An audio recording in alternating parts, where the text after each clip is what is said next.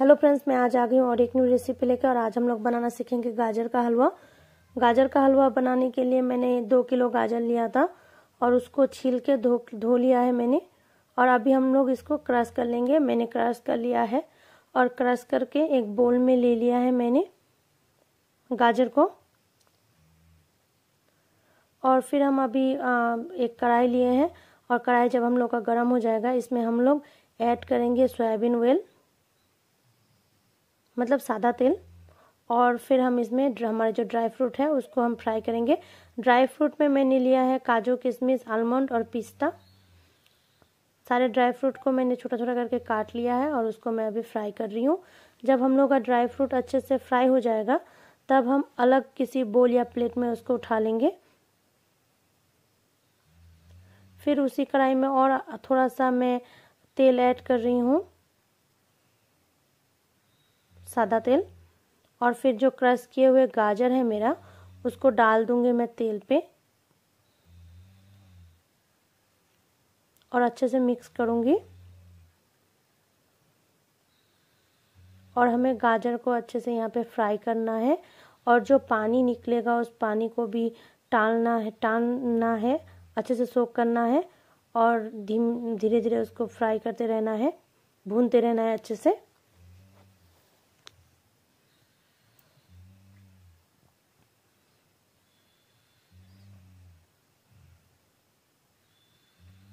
अभी मैं पाँच मिनट के लिए ढक दूँगी ताकि मेरा गाजर अच्छे से सीज जाए।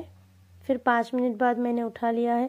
मेरा जो पानी था वो अच्छे से सोख हो गया है और टान लिया है पानी मेरा और फिर गाजर भी मेरा अच्छे से सीज गया है और थोड़ा सा हल्का हम लोग भुनेंगे।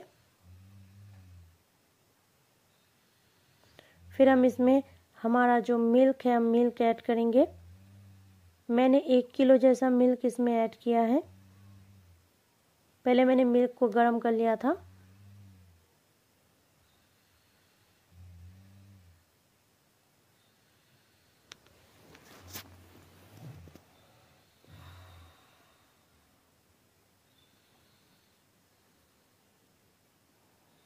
मिल्क डालने के बाद हमें धीरे धीरे भूनते रहना है। जब तक पूरा मिल्क टान ना ले। फिर हम इसमें ऐड करेंगे शुगर। मैंने ढाई चम्मच शुगर ऐड किया है। आपको जैसे मीठा पसंद है, आप उस हिसाब से डाल सकते हैं। बड़ा वाला बड़ा वाला चम्मच से ढाई चम्मच मैंने शुगर ऐड किया है। फिर मैंने इलाच को पीस के चार इलाच को पीस के मैंने हलवे में डाल दिया है। और ये मेवा है। मैंने 50 ग्राम के जैसा मेवा ऐड किया है। दो किलो गाजर के हलवे में। और जो मैंने ड्राई फ्रूट को फ्राई किया था, वो ड्राई फ्रूट भी मैंने डाल दिया है। और देखिए, मेरा गाजर का हलवा एकदम से बन गया है। अभी मैं इसमें देसी घी ऐड कर रही हूँ। और देसी घी डालने के बाद थोड़ा सा हमें अच्छे से भूनना है।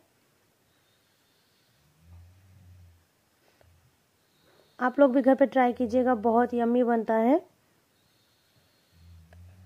और मेरे चैनल को सब्सक्राइब कीजिएगा, शेयर कीजिएगा, और मुझे ढेर सारा सपोर्ट कीजिएगा, दुआ में याद रखिएगा।